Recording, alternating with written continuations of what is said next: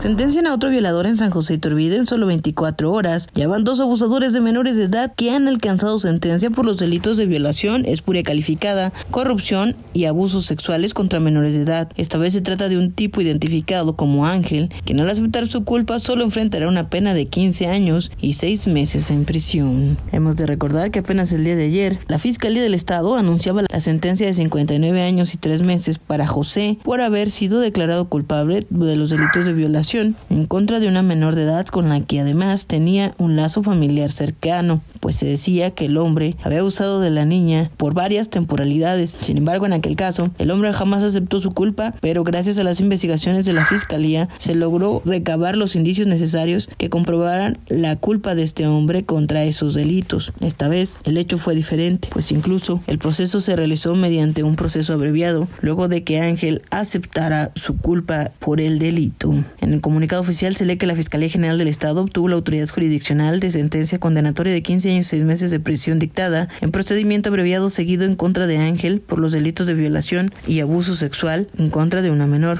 Las indagatorias por parte del equipo multidisciplinario de la Unidad de Atención Integral de las Mujeres de la Fiscalía Región D y la Agencia de Investigación Criminal permitieron esclarecer los hechos en los que se cometieron los abusos sexuales en agravio de la víctima menor de edad, por lo cual tras la aprehensión del inculpado se solicitó una audiencia con el juez. Ángel fue imputado por la agente del Ministerio Público, por lo que al analizarse los datos de prueba proporcionados por esa fiscalía, el juez resolvió vincular al proceso penal al imputado. Posteriormente, durante la etapa de investigación complementaria, se llevó a cabo el procedimiento abreviado, toda vez que así lo solicitó el propio inculpado y su defensor, optando por aceptar su autoría en los hechos que le fueron imputados y sustentados con evidencia integrada en la carpeta de investigación, la que permitió al juzgador tener por demostrada la responsabilidad penal del ahora sentenciado. Por lo anterior, el juez dictó sentencia condenatoria en contra del imputado, además se le impuso una multa y el pago por concepto de la reparación del daño en favor de la víctima. Asimismo, se le negaron todos los beneficios procesales. Para el sistema de noticias de TV Independencia con imágenes de Miguel Zárate informó Ana Barrún.